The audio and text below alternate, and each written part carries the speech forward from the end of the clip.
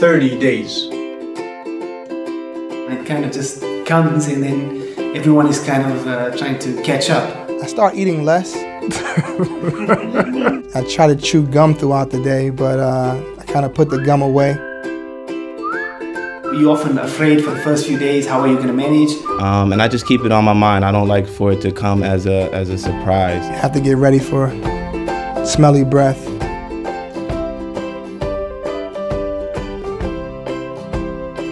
Food. Water.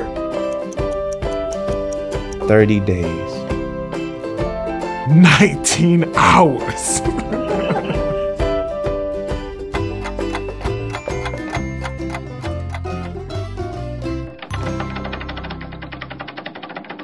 So Ramadan for me is really about getting closer to Allah, about reflection, about where we are in this world. I've been fasting since we were little boys. We used to, um, it was a sign of being a grown up.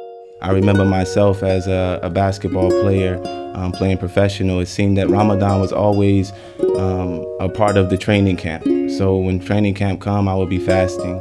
And it made me realize, you know, the training that it is and it, that is putting us through in order that we become stronger.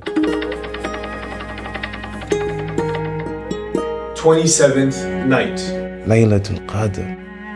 And during that time when you're fasting and that pain comes in your in your stomach and you start to begin to complain about how hungry you are, just remember those people who have that same feeling every single day of their lives. And pray for them. I mean, the obvious big moment of relief during Ramadan is when you break your fast. When you're breaking your fast, that is a great moment of relief. Just how sweet water is and how delicious food is. I know you guys in the UK have it really, really tough. I mean, what, 17, 18 hour fast. And you're just looking at your clock and waiting for that adhan to go off. And then you get a chance to get that date with that cream cheese.